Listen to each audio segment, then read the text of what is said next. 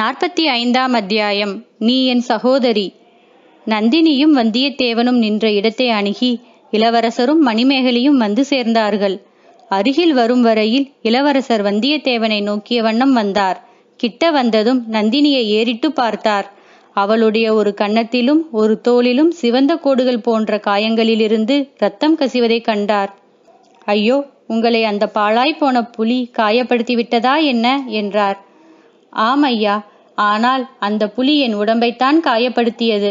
நெஞ்சிலே காயம் உண்டாக்கவில்லை என்றாள் நந்தினி. இந்த வார்த்தைகள் கரிகாலனுடைய நெஞ்சிலே பாய்ந்தன. அவர் மேலே எதுவும் சொல்லுவதற்குள் மணிமேகலை நந்தினியின் அருகில் பதற்றத்துடன் சென்று ஆம் அக்கா நன்றாய் கீறிவிட்டிருக்கிறதே. நல்ல வேளையாக அஞ்சனம் கொண்டு வந்திருக்கிறேன். வாருங்கள் போட்டு விடுகிறேன். உடனே போட்டால் காயம் சீக்கிரம் குணமாகிவிடும் என்றாள். தங்காய் இந்த மாதிரி காயங்கள் எனக்கு சர்வ சாதாரணம் எத்தனையோ காயங்கள் பட்டு ஆறியிருக்கின்றன. நெஞ்சில் படும் காயத்தை ஆற்ற ஏதாவது அஞ்சனம் இருக்கிறதா சொல் என்றாள். ஓ இருக்கிறது அக்கா அதுவும் இருக்கிறது என்று மணிமேகலை சொல்லிவிட்டு நந்தினியை கையை பிடித்து அழைத்து கொண்டு பளிங்கு மண்டபத்துக்கு சென்றாள். இளவரசரும் வந்தியத்தேவனும் சிறிது பின்னால் சென்று மண்டபத்துக்கு அருகில் இருந்த ஒரு விசாலமான மாமரத்தின் அடியில் அமர்ந்திருந்த சலவைக்கல் மேடையில் அமர்ந்தார்கள். ஐயா எவ்வளவு சீக்கிரம் இங்கிருந்து போகிறோமோ அவ்வளவுக்கு நல்லது.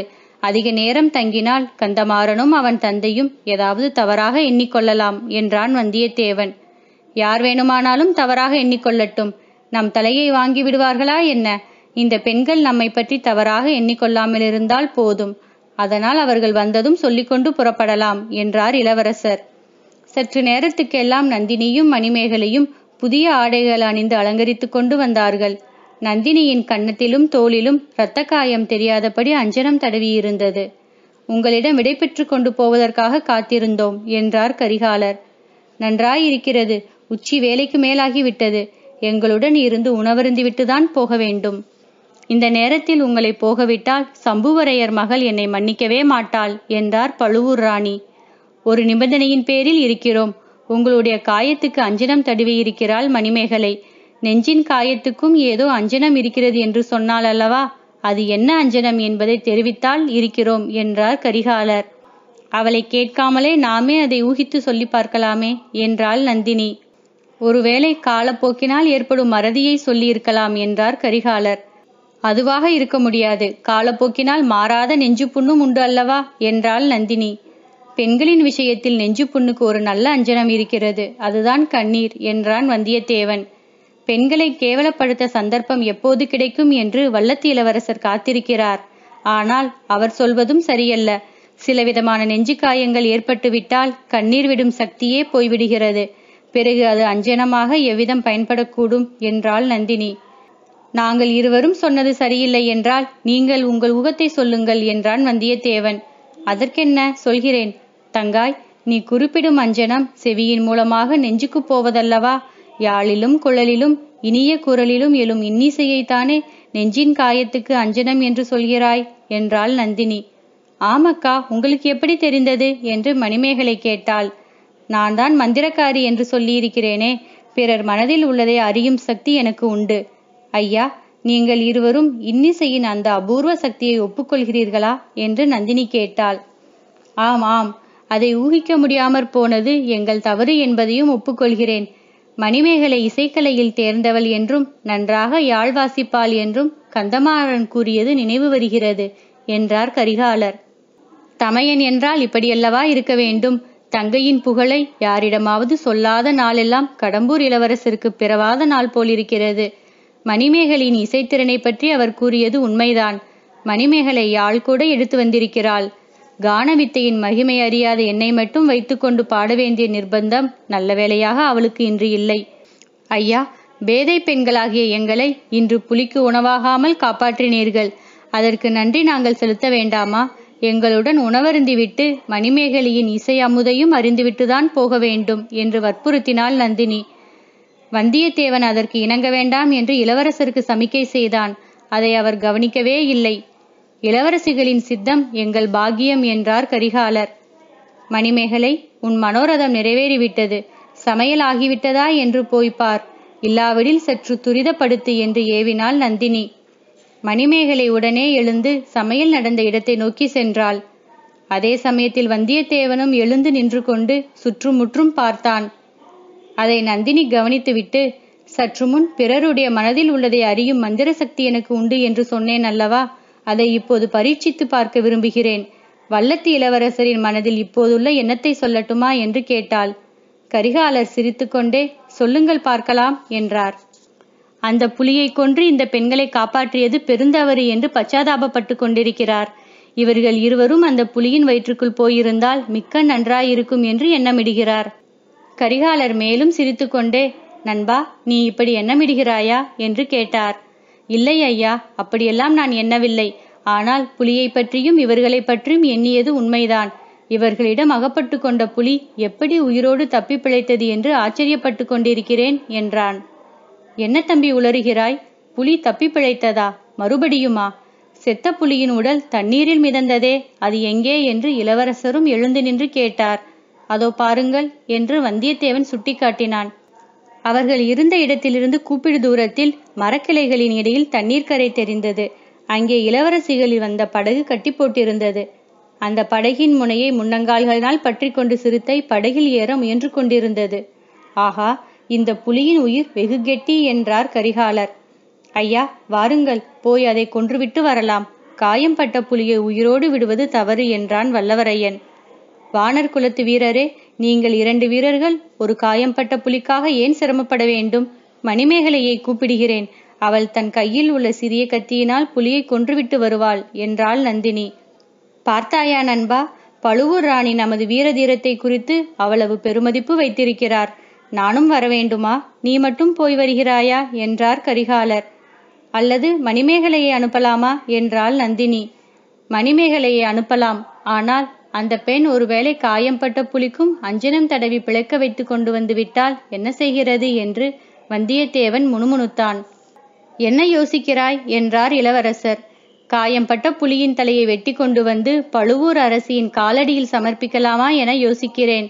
அப்போதாவது அவர் திருப்தி அடைகிறாரா பார்க்கலாம் என்று சொல்லிவிட்டு வந்தியத்தேவன் விடுவிடு என்று நடந்தான். அந்த மூடன் சொன்னதை கேட்டீர்களா? காயம்பட்ட புலியின் தலையை வெட்ட ரொம்ப வீரம் வேண்டுமா என்று கரிகாலர் கேட்டுக்கொண்டே சிரிக்கத் தொடங்கியவர் நந்தினியின் முகத்தை பார்த்துவிட்டு பாதியில் சிரிப்பை நிறுத்தினார். அதை பற்றி தாங்கள் அல்லவா அபிப்பிராயம் சொல்ல வேண்டும் என்றாள் நந்தினி. கரிகாலர் தேகமெல்லாம் சிலிர்த்தது. தழுதழுத்த குரலில் நந்தினி கந்தமாறனிடம் நீ ஓலை கொடுத்து அனுப்பினாய். அதனாலேதான் நான் இவ்விடம் வந்தேன். இல்லாவிட்டால் வந்திருக்க மாட்டேன் என்றார். என் வேண்டுகோளுக்கு இத்தனை காலம் கழித்தாவது மதிப்பு கொடுத்தீர்களே மிக்க வந்தனம் என்றாள் நந்தினி. சென்று போனதையெல்லாம் நீ மறந்துவிட்டாய் என்று நினைத்தேன். அதனாலேதான் ஓலை அனுப்பினாய் என்று கருதினேன். சென்றதையெல்லாம் மறக்க முடியுமா ஐயா? நீங்கள் எல்லாவற்றையும் மறந்துவிட்டீர்களா? மறக்க முடியாதுதான். என்னாலும் மறக்க முடியவில்லை. நீ கண்ணும் கண்ணீருமாக நின்று என்னிடம் ஒரு வரம் கேட்டாய். அதை நான் கொடுக்கவில்லை. அந்த சமயம் ஏதோ வெறி கொண்டிருந்தேன் அதையெல்லாம் நான் இன்னமும் மறக்கவில்லைதான். ஆனால் எதற்காக ஓலை கொடுத்து அனுப்பினாய்? எதற்காக என்னை இவ்விடம் வர சொன்னாய்? என்று கேட்டார் இளவரசர். ஐயா தஞ்சாவூருக்கு தாங்கள் மூன்று ஆண்டுகளாக வரவில்லை. நோய்பட்டிருக்கும் தங்கள் தந்தையையும் பார்க்க வரவில்லை. அவர் எனக்கு மட்டும் தந்தை அல்ல நந்தினி. ஆம் இளைய பிராட்டிக்கும் தந்தைதான். பொன்னியின் செல்வருக்கும் தந்தைதான். ஆயினும் தங்களை பார்க்காததுதான் தங்கள் தந்தைக்கு பெரும் குறையாக இருக்கிறது. தாங்கள் வராமைக்கு காரணம் நான் என்று சக்கரவர்த்தியிடம் யாரோ சொல்லியிருக்கிறார்கள். அதனால் அவர் என்னை பார்ப்பதே கிடையாது. ஐயா எனக்கு ஏற்கனவே தாங்கள் செய்த தீங்கெல்லாம் போதாதா? இந்த பழிவேறு எனக்கு ஏற்பட வேண்டுமா? ஆனால் அது உண்மைதானே. உன் காரணமாகத்தான் தஞ்சைக்கு நான் வரவில்லை. அப்படியானால் நான் தஞ்சையை விட்டு போய்விடுகிறேன். தாங்கள் தஞ்சைக்கு வந்து தங்கள் தந்தையின் சிம்மாசனத்தில் அமர்ந்து மணிமகுடம் சூடிக்கொண்டு நந்தினி அது ஒரு நாளும் நடவாத காரியம். எனக்கு சிம்மாசனத்தில் இப்போது ஆசை இல்லை. மதுராந்தகத்தேவன் சிங்காதனத்தில் அமர்ந்து சாம்ராஜ்யத்தின் மணிமகுடத்தை சூட்டிக்கொண்டு ராஜ்யம் ஆளட்டும். ஐயா மதுராந்தகரை பற்றி தங்களுக்கு நன்றாக தெரியும். அவரால் இந்த பெரிய சாம்ராஜ்யத்தை ஒரு நாளேனும் ஆள முடியுமா? அவனால் ஆள முடியாவிட்டால் அவனுக்கு உதவி செய்ய பழுவேட்டையர்கள் இருக்கிறார்கள். நீயும் இருக்கிறாய். ஐயா தங்கள் விருப்பம் இப்போது நன்றாக எனக்கு தெரிகிறது. நான் தஞ்சையிலிருந்து பழுவூர் அரண்மனையிலிருந்து போய்விடுகிறேன். தாங்கள் தஞ்சைக்கு வந்து இல்லை இல்லை நீ தவறாக எண்ணுகிறாய். எனக்கு அந்த எண்ணமே கிடையாது. நான் உனக்கு முன்னம் செய்த குற்றமெல்லாம் போதும். பழுவூர் அரண்மனையிலிருந்து உன்னை துரத்திய பாதகத்தையும் நான் சேர்த்து கட்டிக்கொள்ள வேண்டாம். ஐயா நாம் இருவரும் தஞ்சையில் இருக்க முடியாதா? அந்த பெரிய நகரில் நாம் இரண்டு பேரும் இருக்க இடம் இல்லையா? ஒருவரையொருவர் பார்க்க வேண்டிய அவசியம் கூட இல்லையே. பார்க்க வேண்டிய அவசியம் இல்லாமல் இருக்கலாம். ஆனால் மனதில் நினைக்காமல் இருக்க முடியுமா? சற்று முன் நீதான் சொன்னாய் சென்று போனதையெல்லாம் மறக்க முடியாது என்று. உன் நெஞ்சத்தில் உள்ள காயத்தை பற்றியும் சொன்னாய். என் நெஞ்சத்திலும் காயம் பட்டிருக்கிறது என்னாலும் மறக்க முடியவில்லை. மறக்க முடியாமல் இருக்கலாம். ஆனால் மன்னிக்க முடியாதா?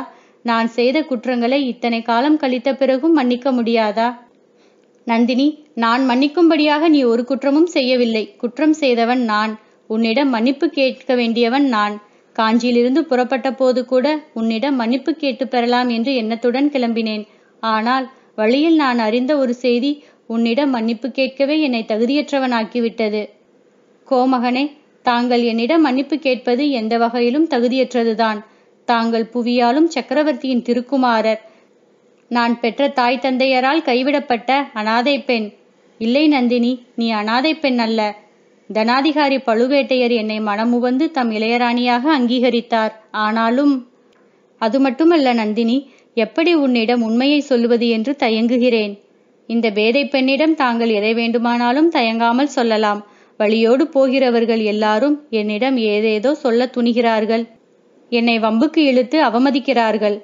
நந்தினி இனி அவ்விதம் யாரேனும் நடந்து கொண்டால் என்னால் ஒரு கணமும் பொறுக்க முடியாது. நீ சொல்ல வேண்டியதுதான். அவனை உடனே யமனுலகுக்கு அனுப்பிவிட்டு மறுகாரியம் பார்ப்பேன்.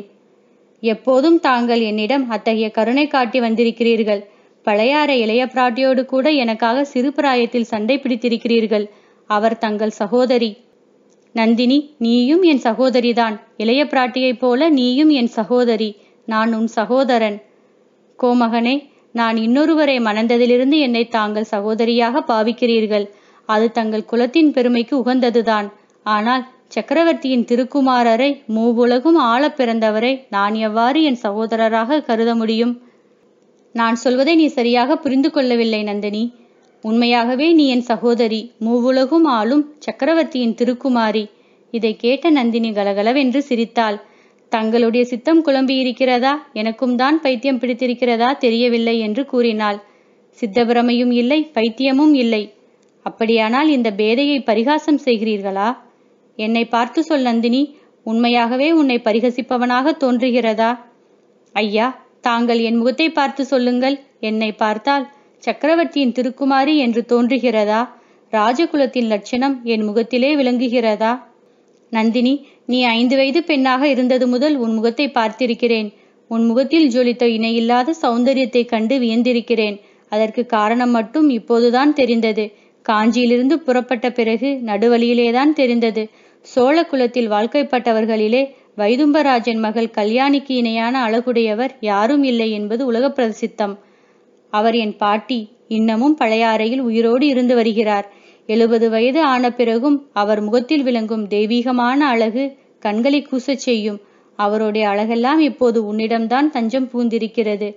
அது என்னிடம் இல்லை இளைய பிராட்டியிடமும் இல்லை அருள்மொழியிடமும் இல்லை. என் தந்தையின் மூலமாக உன்னிடத்தேதான் வந்திருக்கிறது. ஐயா இது என்ன சொல்கிறீர்கள்? உண்மையிலேயே எனக்கு சித்த கோளாறுதான் போலிருக்கிறது. அல்லது என் காதுகளில் ஏதேனும் கோளாறு இருக்க வேண்டும். இல்லை நந்தினி இல்லை. சித்த கோளாறும் இல்லை. உன் காதிலே கோளாறும் இல்லை. நீ என் தந்தையின் மகள். ஆகையால் என் சகோதரி.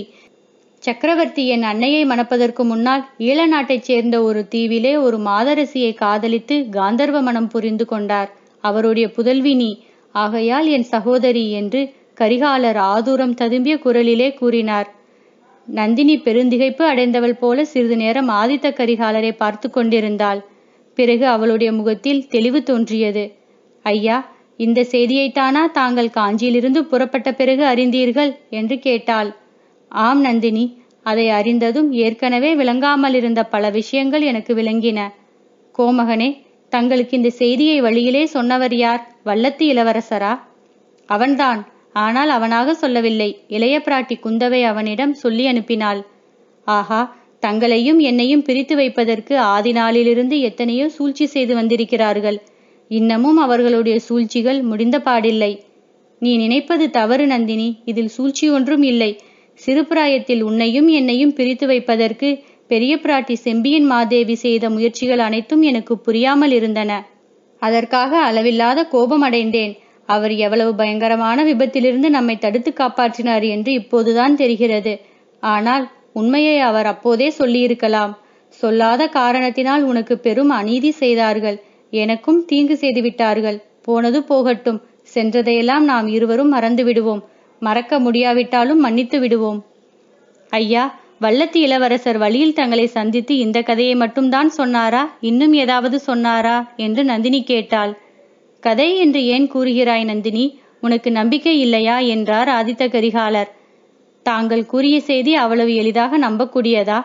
சக்கரவர்த்தியின் குமாரியாக பிறந்து நான் இந்த கதியை அடைந்திருக்க முடியுமா? இவ்வளவு கொடுமையான துன்பங்களுக்கு உள்ளாகி இருக்க முடியுமா? வந்தியத்தேவன் கூறியது உண்மையாகவே இருக்கட்டும். இது மட்டும்தான் அவர் சொன்னாரா? வேறு ஒன்றும் சொல்லவில்லையா? என்றாள் நந்தினி.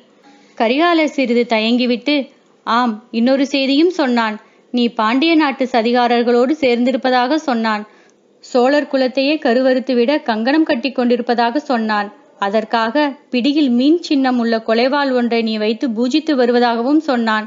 கொள்ளிடக்கரை காட்டில் பள்ளிப்படையின் அருகில் யாரோ ஒரு சிறுவனை வைத்து மணிமகுடம் சூட்டியதாகவும் கூறினான். நந்தினி அதையெல்லாம் இனி நீ மறந்துவிடு. சோழர் குலத்தின் பெருமைக்கெல்லாம் என்னைப் போல் உரிமையுள்ளவள் நீ. சுந்தர சோழ சக்கரவர்த்தியின் புதல்வி என் அருமை சகோதரி உனக்கு இதுவரை செய்த அநீதிகளுக்கெல்லாம் பரிகாரம் செய்வதே எனது முதற்கடமையாக இனி வைத்துக் கொள்வேன். ஐயா இவ்வளவையும் தாங்கள் நம்புகிறீர்கள் அல்லவா? அப்படி இருக்கும்போது கடம்பூருக்கு வந்து இத்தனை நாள் வரையில் காத்திருந்ததேன்? முன்னாடியே என்னை வந்து சந்தித்து பேச ஒரு முயற்சியும் செய்யாதது ஏன்? என் மனதில் ஏற்பட்டிருந்த குழப்பம்தான் காரணம். நம்முடைய புதிய உறவை என் மனதில் நிலைப்படுத்திக் கொள்ள அவகாசமும் வேண்டியிருந்தது. எல்லாவற்றையும் விளக்கமாக சொல்லத்தக்க சந்தர்ப்பத்தையும் எதிர்பார்த்து கொண்டிருந்தேன். பலர் முன்னிலையில் சொல்லக்கூடிய செய்தியாயுது. அதிர்ஷ்டவசமாக ஒரு காட்டுப்பன்றியும் ஒரு சிறுத்தை புலியும் இன்றைக்கு அத்தகைய சந்தர்ப்பத்தை எனக்கு ஏற்படுத்தி கொடுத்தன. நந்தினி குறுக்கிட்டு ஐயா காட்டு மிருகங்கள் பொல்லாதவைதான். ஆனால் மனிதர்களைப் போல் அவ்வளவு கொடுமை செய்யக்கூடியவை அல்ல. அது இன்றைக்குத்தான் எனக்கு நன்கு தெரிந்தது என்றாள். சகோதரி சென்று போனதையெல்லாம் மறக்க முடியாது என்று சற்று முன்னால் நீ சொன்னாய். அதை நானும் ஒப்புக்கொண்டேன். மறக்க முடியாவிட்டாலும் மன்னிக்க வேண்டுமென்று கேட்டுக்கொண்டேன். அதற்கு நீ மறுமொழி சொல்லவில்லை. கோமகனே தாங்கள் இதற்கு முன்னால் எனக்கு செய்த துரோகங்கள் குற்றங்கள் எல்லாவற்றையும் மன்னித்து விடுவேன். ஒருவேளை மறந்தும் விடுவேன்.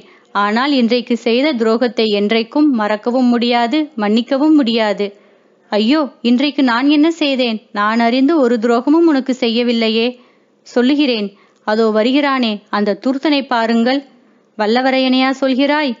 ஆமாம் புலியின் தலையை கொண்டு வராமல் வெறுங்கையுடனே வருகிறானே அவன்தான். ஒரு நாள் அவன் என்னை தஞ்சையில் பார்த்தான். என்னுடைய பாதம் அவன் பேரில் பட்டால் அதை ஒரு பாக்கியமாக கருதுவேன் என்று சொன்னான். அவனை என் காலால் தொட்டு உதைக்கவும் நான் இஷ்டப்படவில்லை. வேலைக்காரர்களை அழைப்பதாக சொன்ன பிறகு ஓடிவிட்டான். அவனுடைய நீசத்தனமான எண்ணத்துக்கு நான் இணங்காததற்காக தங்களிடம் இத்தகைய பயங்கரமான கற்பனைகளை புனைந்து சொல்லியிருக்கிறான். நான் விரும்பினால் தங்களுடைய தலையையே கொண்டு வந்து விடுவதாக உறுதி கூறினான். இதையெல்லாம் தங்களிடம் நான் சொல்லிவிடப் போகிறேனோ என்று அவனுக்கு பயம். அதற்காகவே தாங்கள் கடம்பூர் மாளிகைக்கு வராமலே வழியிலேயே தடுத்துவிட பார்த்தான். அதனாலேயே தங்களுடன் இணைப்பிரியாமல் சுற்றி வந்து கொண்டிருக்கிறான். அப்படிப்பட்ட நீசன் என் காலினால் தொடுவதற்கு கூட நான் விரும்பாதவன். அவன் என் உடம்பு முழுவதையும் அனைத்து தூக்கி கரையேற்றும்படி செய்தீர்கள். அதை பார்த்து கொண்டும் இருந்தீர்கள். இதை நான் மறக்க முடியுமா? அல்லது மன்னிக்கத்தான் முடியுமா? இவ்விதம் நந்தினி கண்களில் கோபக்கனல் பொங்க கூறி வந்த பயங்கரமான மொழிகளை கேட்டு கரிகாலருடைய தலை உண்மையிலேயே சுழலத் தொடங்கியது. பளிங்கு மண்டபம் ஏரியின் நீர் காட்டு மரங்கள் எல்லாம் சுழன்றன. சற்று நிதானித்துக் கொண்டு சகோதரி நந்தினி நீ சொல்வது உண்மையாக இருக்க முடியுமா? எதை நம்புவதென்று எனக்கு மெய்யாகவே தெரியவில்லை. வந்தியத்தேவன் அவ்வளவு நீசனாக இருக்கக்கூடுமோ? அவனுக்கு இந்த பேதை பெண் மணிமேகலையை திருமணம் செய்விப்பது பற்றி சற்று நேரத்துக்கு முன்னால் கூட எண்ணினேனே என்றார். ஐயா நான் சொல்வதை மட்டும் நீங்கள் நம்பிவிட வேண்டாம். எப்போதுமே அவசரப்பட்டு தாங்கள் காரியம் செய்து விடுவீர்கள். இந்த தடவை அப்படி செய்ய வேண்டாம். இரண்டு நாள் பொறுத்திருந்து இவனுடைய நடவடிக்கைகளை கவனித்து வாருங்கள். தாங்களே தெரிந்து கொள்வீர்கள் என்றாள் நந்தினி. நாற்பத்தி ஐந்தாம் அத்தியாயம் முடிந்தது.